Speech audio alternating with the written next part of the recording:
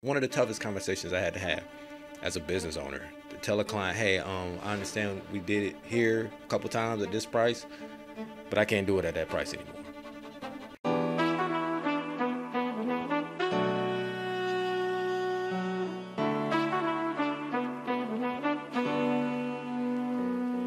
So I had a situation where I had to cut ties with a client who we worked with. I worked with him couple months consistently. Now we didn't have a retainer contract, so I wasn't obligated to keep the pricing going the same way.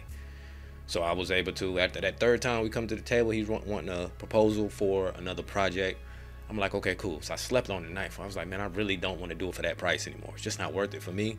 I did it the first couple times because I, you know, I needed it. It was cool. I needed that. But right at that point, I was like, it, it, the, the, time that it's taking me is not worth the money. So I had to have that conversation with him. It's one of the toughest conversations I had to have as a business owner to tell a client, hey, um, I understand we did it here a couple times at this price, but I can't do it at that price anymore.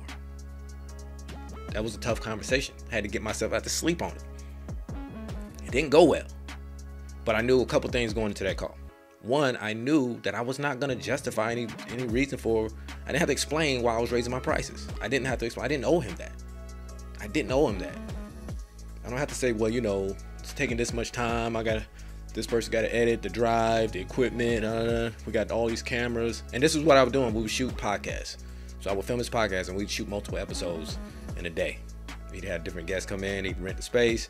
I set up, shoot the podcast, edit it, get them over to him, get some clips, stuff like that. So we did that a couple times. And then we was ready to do it a third time. And I was like, ah, I can't do it. It's not worth it for me.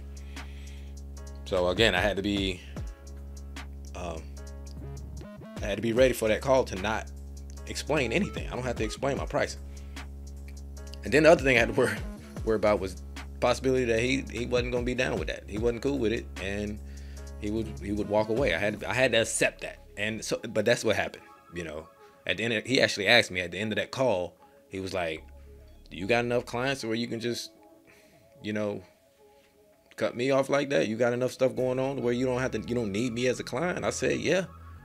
Yeah. None of your business but yeah. I didn't say that part. That's what i was thinking. Oh, ain't none of your business but yeah.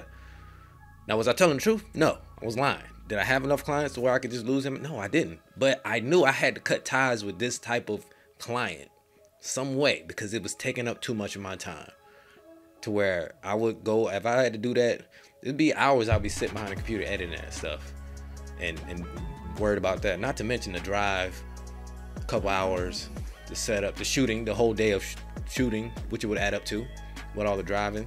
And then the editing and all that stuff like it's not worth it especially when I know I could send out a proposal to somebody else and get the same you know, get one episode for the price we was about to do four or five. So no, couldn't do it. So I had to be okay with him saying, him walking away and saying he wasn't, which is what happened. But I knew I had to stop dealing with those clients.